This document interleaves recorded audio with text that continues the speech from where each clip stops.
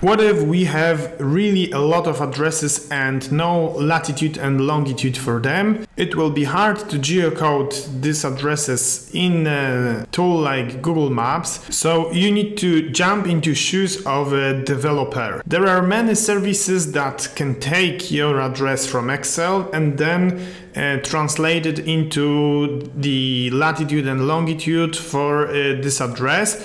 In my example, I will use the HereMaps service since it allows you to geocode up to 200,000 points per month for free, which I find very, very useful. We have the address column and this is just one part of, uh, of this equation.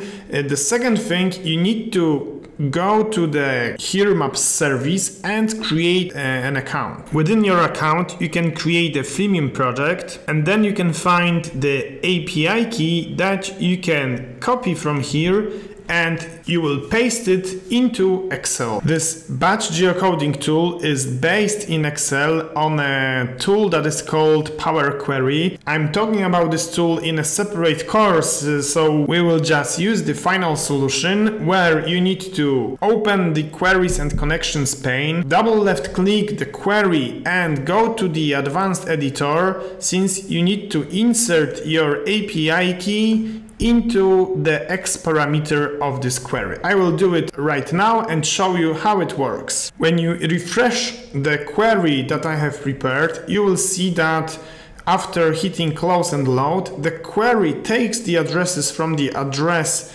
uh, column and translates into latitude and longitude.